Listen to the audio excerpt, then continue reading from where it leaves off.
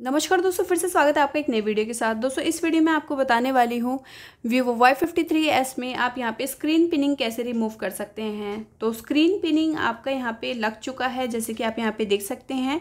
और कोई सी भी एप्लीकेशन है मैटर नहीं करता है, आपका यहाँ पर स्क्रीन पिनिंग कैसे हटाना है या फिर एप्लीकेशन पर पिन लग गया तो ऐप पिन कैसे हटाना है।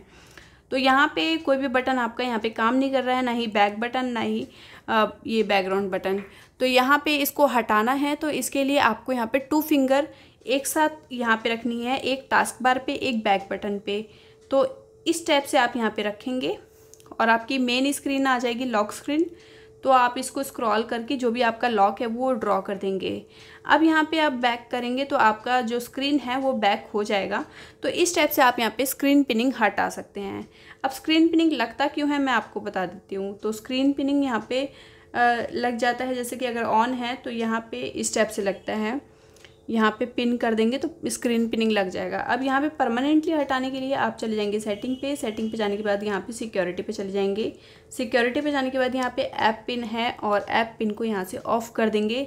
अब यहाँ पे आपको स्क्रीन पिनिंग देखने को नहीं मिलेगा और ये अब नहीं लगेगा, जैसे कि आप यहाँ पे देख सकते हैं। तो इस टाइप से आप यहाँ पे स्क्रीन पिनिंग हटा सकते हैं परमानेंटली आई होप गाइस ये वीडियो आपको ज़रूर पसंद आया होगा। चलिए मिलते हैं आपको एक नेक्स्ट वीडियो में। तब तक के लिए नमस्कार।